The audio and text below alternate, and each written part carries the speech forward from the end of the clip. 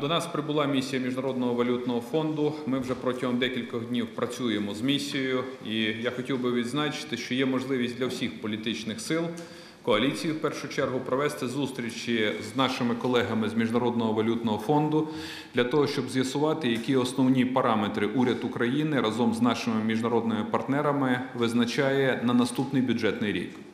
Е, Нещодавно відбулася трьохгодинна зустріч е, з лідером фракції Батьківщина в присутності прем'єра, міністра фінансів України і е, місії Міжнародного валютного фонду з приводу бюджетної, тарифної і економічної політики в цілому.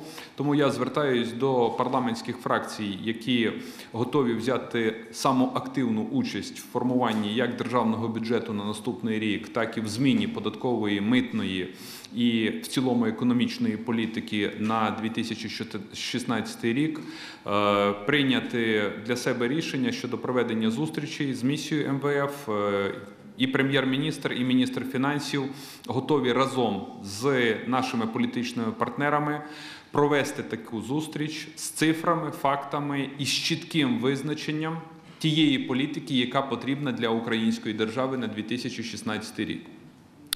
До кінця поточного року, без сумніву, буде прийнятий і новий закон України про державний бюджет на наступний рік.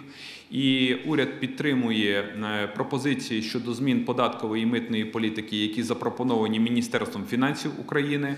Ми е, також напрацювали низку пакетів законодавства, які треба, щоб український парламент проголосував. Це зміни до законодавства в сфері охорони здоров'я, це зміни до законодавства в сфері освіти, це зміни до законодавства у сфері приватизації, це зміни до законодавства у сфері державних закупівель, про що сьогодні буде також доповідати міністр економіки України. Тому нам необхідна спільна політична воля для того, щоб продемонструвати, що Україна не сходить ні на один крок з шляху правильних реформ для країни, і для того, щоб продемонструвати світовому співтовариству, що ми далі будемо проявляти політичну волю і впевненість в необхідності проведення реформ в країні.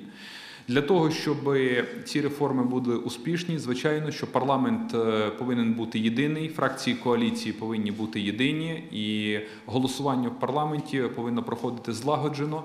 Для того, щоб не перетворювати бюджетні і податкові питання в політичне протистояння, вкотре зазначаю, що уряд готовий працювати з усіма фракціями, з окремими народними депутатами України, щоб напрацювати один спільний єдиний пакет законодавства і в стінах парламенту проголосувати його швидко, оперативно, демонструючи наявність і бажання, і політичної волі до проведення економічних реформ.